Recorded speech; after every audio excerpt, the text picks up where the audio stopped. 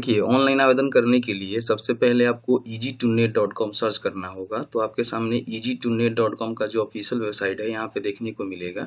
इसको यहाँ से ओपन कर लेना है, ठीक है?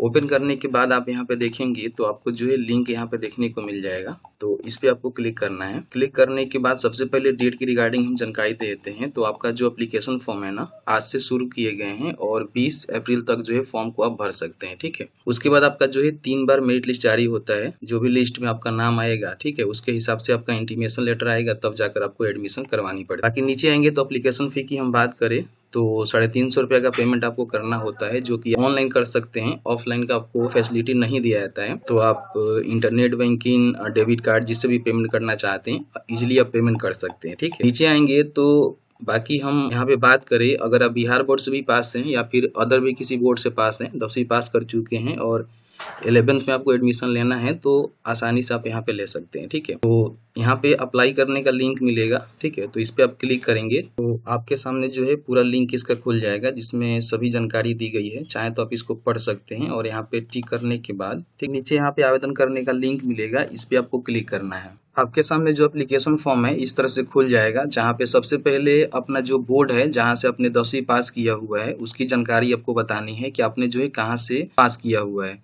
तो इसमें देख सकते हैं कि अदर स्टेट भी दिया गया है। अगर आप अदर स्टेट से पास आउट हैं तो उसकी जानकारी आप यहाँ पे सेलेक्ट कर सकते हैं। या फिर आप बिहार बोर्ड से हैं। जैसे कि मान लीजिए काफ़ी सारे बच्चे जो है बिहार बोर्ड से मैट्रिक पास किए हुए हैं और उनको एलेवंथ में एडमिशन लेना है तो जो है बिहार बोर्ड का ही सिलेक्शन करेंगे, जो कि फ़र्स्ट में ही आपको देखने को मिल जाएगा। तो इसका सिलेक्शन करेंगे। उसके बाद आपने जो है कब पास किया हुआ है, उसकी जानकारी बताएँगे। देखिए, सभी जो है सन आपको देखने को मिलता है। जिस भी सन में आपने पास किया हुआ है ना, उसकी जानकारी यहाँ पे आपको सेलेक्ट करना होगा। फिर यहाँ पे आपको वार्षिक परीक्षा मिलता है और एक जो है पूरक परीक्षा मिलता है। तो वार्षिक मतलब जो कंपार्टमेंटल से पास करते हैं, वो पूरक में जाते हैं। तो अगर ऐसा आपका कंडीशन होगा तो देख लीजिएगा, नहीं तो एनुअल ही आपको सेलेक्ट करना है। उसके बाद यहाँ पे अपना जो भी डेट ऑफ़ बर्थ है, जो कि आपके मैट्रिक के सर्टिफिकेट पर रहता है, उसके अकॉर्डिंग आपको सिलेक्ट करना है। हालाँकि एडमिट कार्ड पे देखेंगे तो आपको जानकारी मिल जाएगा, क्योंकि अभी जो है आपका सर्टिफिकेट नहीं आया हुआ है, ठीक है? उसके बाद अपना जो रोल कोड है रोल नंबर है, यहाँ पे इंटर करेंगे। तो जैसे यहाँ पे रोल कोड रोल नंबर डालेंगे तो स्टूडेंट का जो भी डेटा होगा, अगर वो बिहार बोर्ड से पढ़ा हुआ है तो उसकी पूरी जानकारी यहाँ पे खुल जाएगा। एक बार जानकारी को ज़रूर चेकआउट कर लेना। उसके बाद यहाँ पे जो एक फ़ोटो आपको अपलोड करना है, जो कि जेपीजी जेपीजी फॉर्मेट में होगा। आप यहाँ पे चूज़ फ़ाइल के बटन पर क्लिक करके इस प्रकार से यहाँ पे अपलोड कर सकते हैं। उसके बाद यहाँ पे नीचे आएँगे तो जो भी उसका अंक प्राप्त हुआ होगा मैट्रिक में, वो अंक यहाँ पे ऑटोमेटिकली जो है फैच कर लेता है या डालना नहीं पड़ता है। फिर यहाँ पे जौन से स्कूल से उसने पास किया हुआ है, जैसे कि मान लीजिए स्कूल का नाम यहाँ पे देखने को मिलेगा। स्कूल का जो एड्रेस है ना, जो यहाँ पे लिखा हुआ है इसको ही कॉपी करके डाल सकते हैं, लेकिन ये कॉपी नहीं हो रहा है, ठीक है? तो यहाँ पे क्या करना है कि जो भी स्कूल से जहाँ से उसने पढ़ाई किया हुआ है, उसका एड्रेस यहाँ पे डालना है। फिर यहाँ पे आपको जो है बताना है कि कब जो है स्कूल छोड़ी हुई थी तो यहाँ पे उसका जो है सन आपको देखने को मिल जाएगा। अगर वो कस्तूरबा गांधी बालिका विद्यालय से पढ़ी हुई है तो आप यहाँ पे यस कर सकते हैं, अन्यथा यहाँ पे नो करेंगे, ठीक है?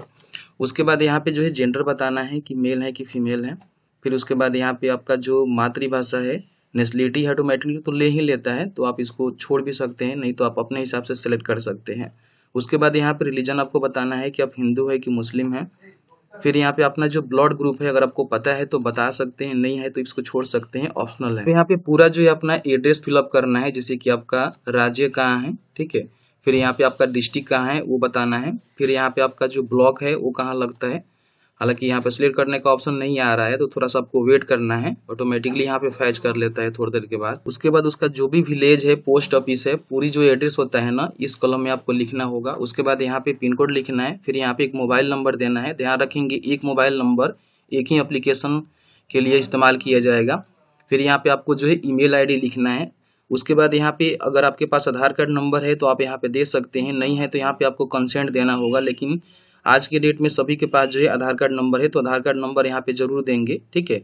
और आधार कार्ड नंबर देंगे तो यहाँ पे आपको टिक नहीं करना है, ठीक है? ध्यान रखेंगे।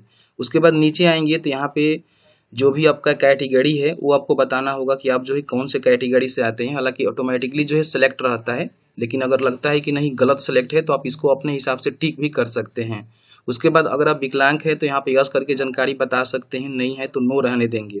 उसके बाद अगर आप ई डब्ल्यू एस है तो यहाँ पे यस कर सकते हैं, नहीं है तो इसमें नो रहने देंगे। उसके बाद यहाँ पे कम से कम जो है दस कॉलेज का प्रीफरेंस आपको देना होगा। अधिकतम जो है बीस कॉलेज का प्रीफरेंस आप यहाँ पे दे सकते हैं, जिसमें आप एडमिशन लेना चाहते हैं, क्योंकि उसमें ही आपका मेरिट बनता है, जो भी आपका अंक होता है उसके बिहार पे। और मेरिट बनने के बाद जब आपका इंटीमेशन लेटर जारी होता है ना तो वहीं पे आपको एडमिशन करवानी पड़ती है। तो यहाँ पे सबसे पहले जो भी आपका कॉलेज है, जहाँ पे आप एडमिशन लेना चाहते हैं, उसका जो भी डिस्ट्रिक्ट है, उसका सिलेक्शन करेंगे। फिर यहाँ पे उसका जो कॉलेज का नेम है, यहाँ पे थोड़ी देर के बाद शो करेगा। इस तरह से सेलेक्ट करने का ऑप्शन आएगा, जिसमें भी अपना एडमिशन लेना चाहते हैं, जिसमें आप फ़र्स्ट प्रायोरिटी देना चाहते हैं, ठीक है? उस कॉलेज का जो है सिलेक्शन आपको पहले करना है और उस तरह से करके जो है दस कॉलेज का आपको सिलेक्शन करना है। जैसे कि मुझे इस कॉलेज में एडमिशन लेनी है तो मैंने जो इसका सिलेक्शन कर लिया हुआ है। उसके बाद यहाँ पे आपको शंकाएँ बताना है कि आप जो है कौन से अपना जो स्ट्रीम है उससे जो है इंटरमीडिएट करना चाहते हैं। तो देखिए, जो भी यहाँ पे कॉलेज का आप सिलेक्शन करेंगे, उसमें जो भी स्ट्रीम अवेलेबल होगा ना, वही आपको देखने को मिलेगा। कई सारे कॉलेज ऐसे हैं जहाँ पे जो है कॉमर्स का फैसिलिटी नहीं है। आप कॉमर्स से करना चाहते हैं तो आपको पता करना पड़ेगा कि कौन सा कॉलेज जो है कॉमर्स करवाती है, ठीक है? उसके हिसाब से आप जानकारी को सिलेक्ट करेंगे तो यहाँ पे जो आपका स्ट्रीम है ना, देखने को मिलेगा। जैसे कि मान लीजिए मुझे आर्ट्स से करना है तो मैं यहाँ पे आर्ट्स का सिलेक्शन करूँगा। आप अपने हिसाब से देख लेंगे, ठीक है? अब यहाँ पे और भी आपको कॉलेज का जो है यहाँ पे प्रिफ्रेंस देना है तो आपको यहाँ पे यस करना है, ठीक है? यस करने के बाद क्या होगा कि यहाँ पे देखेंगे, दूसरा ऑप्शन जो है आपको यहाँ पे देखने को मिल जाएगा। तो यहाँ पे आपको क्लिक करना है। अब यहाँ पे एक कॉलेज का जो है सिलेक्शन आपने कर लिया हुआ है, जो कि फ़र्स्ट सेलेक्शन लिस्ट में यहाँ पे आ चुका है। अब दूसरा कॉलेज का सिलेक्शन करना है तो फिर से जो है डिस्ट्रिक्ट का सिलेक्शन करना है। जो भी आपको कॉलेज में एडमिशन लेनी है, उस कॉलेज का जो है सिलेक्शन आप इस तरह से ढूंढ सकते हैं यहाँ पे। फिर यहाँ पे स्ट्रीम बताएँगे कि आप जो है कौन से स्ट्रीम से करना चाहते हैं। और फिर इसको यहाँ पे जो दूसरा प्रीफरेंस है आपको, दूसरा तो दे दिए अब तीसरा का ऑप्शन है, इसको क्लिक करेंगे तो इस तरह से आपका जो कॉलेज का नेम है ना एड हो जाएगा।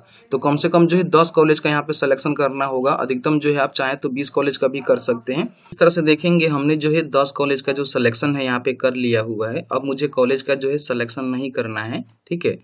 तो मैं यहाँ पे नहीं करूँगा, ठीक है? उसके बाद यहाँ पे टिक करना है और टिक करने के बाद यहाँ पे आपको साढ़े तीन सौ रुपये का जो पेमेंट है वो करना है तो इस पे आपको क्लिक करना है। अब आपके सामने जो है पूरी आपका जो एप्लीकेशन फॉर्म है प्रिव्यू देखने को मिलेगा, जिसमें आपने जो भी जानकारी फिल आउट किया हुआ है, ये भी जानकारी आपका लिया गया है डेटा से, वो आपको देखने को मिलेगा, जिसको आप ज़रूर चेकआउट कर लेना। यहाँ पे ध्यान रखिएगा 2024 में आप पास किए होंगे तो 2022 में कहीं ना कहीं आपने जो है उस विद्यालय में एडमिशन लिया होगा तो इसका सिलेक्शन यहाँ पे करेंगे। मैं बताना आपको भूल गया था। बाकी और भी जानकारी नीचे है, आप देखेंगे। और नीचे आने के बाद यहाँ पे जो भी अपने कॉलेज का सिलेक्शन किया हुआ है, वो आपको देखने को मिल जाएगा। तो इसको ज़रूर चेकआउट कर लेना कि सही है कि नहीं है, ठीक है? आपको लगता है कि सभी जानकारी सही है तो आपको जो है कंफर्म के बटन पर क्लिक करना है। लेकिन आपको लगता है कि किसी प्रकार का मॉडिफिकेशन की आवश्यकता है एडिट करना है तो यहाँ पे क्लिक करके एडिट भी कर सकते हैं। लेकिन मेरा सभी जानकारी सही है तो मैं कंफर्म के बटन पर क्लिक करूँगा। बटन पर क्लिक करेंगे तो यहाँ पे पूछेगा कि आप फॉर्म को आपने वेरीफाइड कर लिया हुआ है। तो हमने जो है वेरीफाई कर लिया हुआ है, ओके के बटन पर क्लिक करेंगे, फिर यहाँ पे ओके करेंगे। अब यहाँ पे आपने जो भी मोबाइल नंबर दिया हुआ है ना, उस पर एक ओटीपी सेंड किया गया है। उस ओटीपी को यहाँ पे डालना है, ठीक है? और आपको जो है सबमिट के बटन पर क्लिक करना है। देखिए, जैसे ही सबमिट के बटन पर क्लिक करेंगे तो अब यहाँ पे आपको जो है पेमेंट करना होगा। तो पेमेंट यहाँ पे करने का जो है ऑप्शन आपको एक्सिस बैंक और एचडीएफसी बैंक देखने को मिलेगा। तो जिससे भी आप करना चाहते हैं, हालाँकि पेमेंट गेटवे है, आप किसी भी बैंक से कर सकते हैं, उसमें कोई दिक्कत नहीं है।